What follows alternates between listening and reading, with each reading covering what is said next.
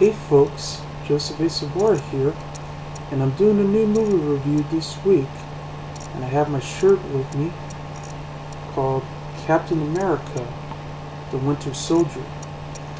It's a follow-up to the 2011 film Captain America, The First Avenger. It stars Chris Evans, Scarlett Johansson, Sebastian Stan, Anthony Mackie, Cobie Smulders, Frank Grillo, Amy Van Camp, Hayley Atwell, with Robert Redford and Samuel Jackson. And it's directed by two brothers, Anthony Russo and Joe Russo.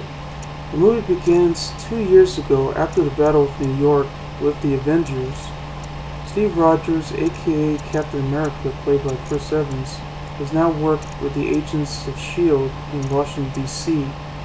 by director Nick Fury.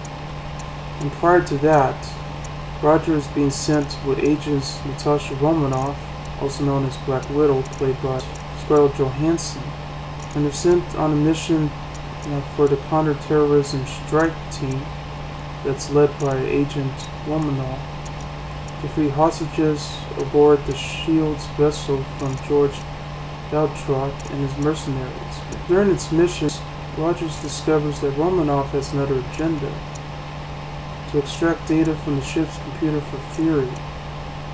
Once Roger returns to Triclone, the SHIELD headquarters, to confront Fury and his beef about Project Insight, which has freak hel helicarriers links to spy satellites designed to preemptively eliminate threats. And by recovering the data from Romanoff, Fury has become suspicious about the insights and as senior S.H.I.E.L.D. officer Alexander Pierce, who's played by Robert Redford, to delay the project. That leads to a new threat against S.H.I.E.L.D. called the Winter Soldier, who prior to the Hydra organization leads Nick Fury and Agent Romanoff betrayed and left for dead. So now, wasting against time, Captain America decided to launch an investigation into the SHIELD's origins and have him return to the very army base where he was once under basic training that was almost nearly a hundred years ago.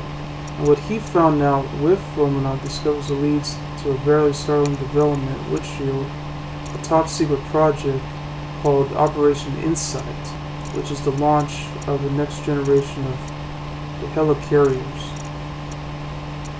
So it's up to Captain America, along with his team, including his friend Stan Wilson, played by Anthony Mackie, to stop them from becoming yet another attack. And I really admired the new Captain America sequel, which was a follow-up to know, Captain America the First Avenger from 2011. And yeah, this was even better than I thought. Because now it has, they, they follow more to the story about how uh, Steve Rogers got back after being you know, abandoned and frozen all these years. Finally he got out of the world, only to discover his his origin, you know, Captain America, and he got to, he finally found um, his girl, which you know, he later met you know, during his training course, and unfortunately she's now you know, dying and, and very old. It, it, was great to see that scene, very touching and sad. But also it's great to see that he's teaming up once again with the Agents of S.H.I.E.L.D. You know, since they brought him here.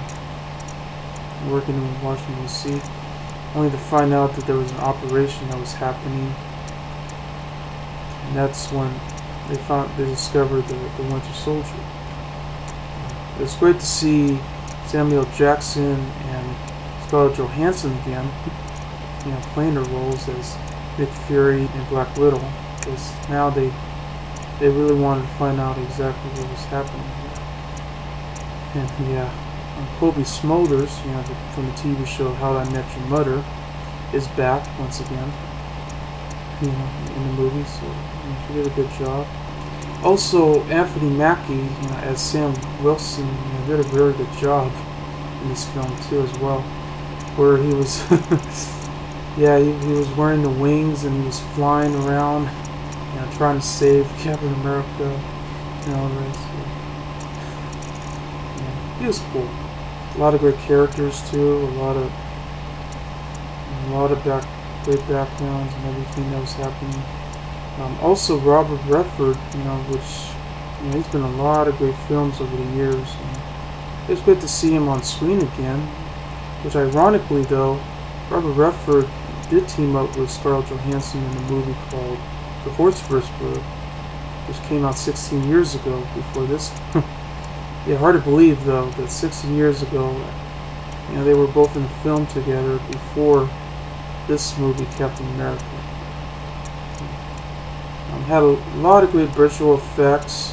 I, I like the fact that the story was sort of in the intertwined with them because now you get to see um, the real story behind all this. And I had a good time. Uh, I really enjoyed this. I actually saw this movie on my birthday uh, as a celebration. Yeah, after I saw the movie The Amazing Spider-Man 2. It was great to, to have this So it's good to see two Marvel films you know, as a birthday gift. Know, but it was worth it. Um, but out of all the Marvel films I've seen, this was definitely the best one. But nevertheless, uh, the Avengers would always be, you know, the best superhero movie I've ever seen prior to that. But sure has been getting better a lot lately you know, when it comes to all the Marvel films.